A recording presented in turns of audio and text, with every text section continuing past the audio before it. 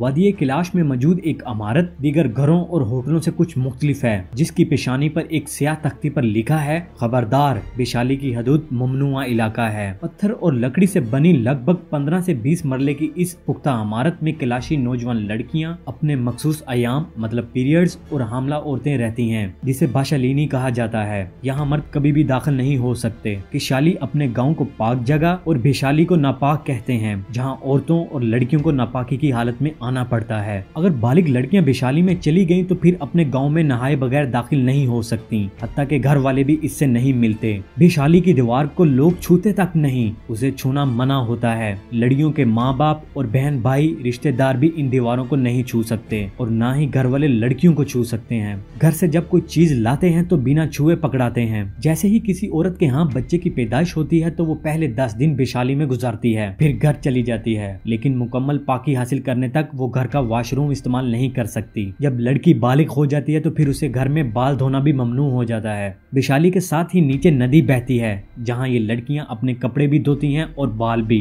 वहाँ आपको खुले बालों में औरतें दिखाई नहीं देंगी। वो गीले बालों में ही बल डाल देती हैं। अगर वादी में फेस्टिवल हो, किसी की शादी हो, या फिर कोई मर जाए तो विशाली के अंदर मौजूद औरतों के लिए वो लम्हात बहुत कठिन होते हैं, क्योंकि ना किसी जाने वाले का दीदार हो सकता है और ना ही खुशी में रक्स। किलाशी रवायात के मुताबिक, अगर किसी खतून की विशाली में मौत वाक़ हो जाए तो उसकी मैयत दीगर अफराद की तरह इबादत के मकाम पर नहीं लाई जा सकती। यहाँ तक कि दोबारा घर की तरफ़ या गाँव में भी नहीं ले जाया जा सकता, बल्कि उसे विशाली के करीब ही नीचे वादी के किसी मकाम पर तीन दिन तक रखने के बाद दफन कर दिया जाता है। मकामी आबादी में से अगर कोई विशाली की हदूद की खिलाफ वर्जी करे या उसकी दीवार को छू ले या कोई बच्चा अपनी माँ से गाँव की तरफ़ चला जाए तो फिर उस मकाम पर बकरे की कुर्बानी दी जाती है, जिसके बाद ही इस जगह को फिर से पाक तस्वुर किया जाता है।